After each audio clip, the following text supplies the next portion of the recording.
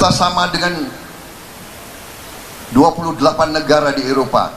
Kita punya luas wilayah sama dengan Eropa.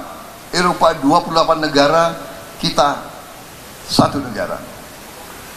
Jadi tidak gampang tidak mudah. Pasti banyak kekurangan pasti banyak yang kita tidak puas.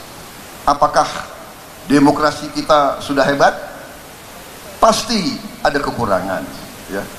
Tapi kita harus mengakui demokrasi kita walaupun banyak kekurangan walaupun banyak tidak puas demokrasi kita berjalan. Kita punya demokrasi yang berjalan. Berapa bupati bisa kita ganti? Berapa wali kota bisa kita ganti? Sudah berapa presiden turun dengan baik? Saudara sekalian presiden-presiden yang dituduh diktator bahkan Bung Karno pun turun waktu oleh NPRS beliau turun dengan baik. Beliau kalau mau bisa bertahan. Pak Harto juga turun dengan baik. Semua presiden kita turun dengan baik mau adakan pergantian kita punya demokrasi. Walaupun tidak sempurna tapi demokrasi berjalan saudara sekalian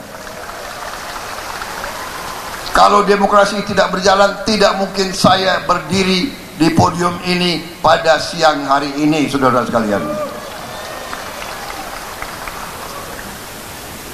Kadang-kadang ada yang lupa. Ada yang menjadi gubernur lupa karena demokrasi.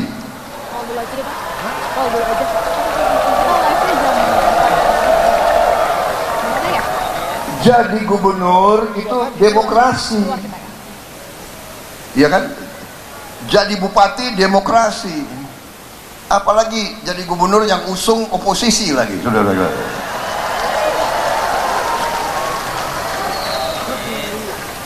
Ya saya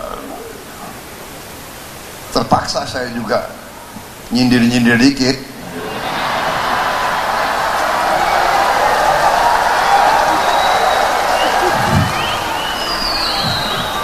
boleh dong.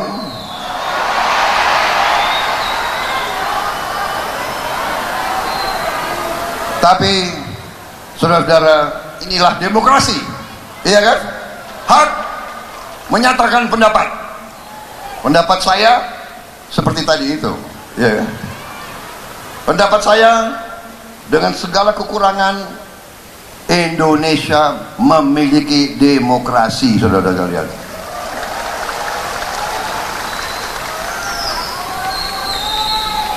apakah ada orang-orang yang ingin main-main? Ya adalah. Ya kan? Kita main sepak bola di kampung aja ada yang mau curang. Iya kan? Benar nggak? Wasit dikejar-kejar ya kan? Tapi kita harus bedakan.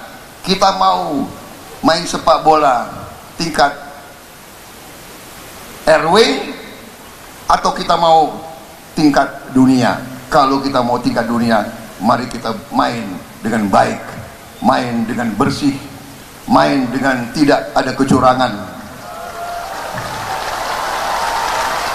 Saya minta kalau saudara-saudara sungguh-sungguh mendukung saya marilah kita lanjutkan kampanye kita dengan baik dengan santun dengan dewasa dengan tidak maki-maki tidak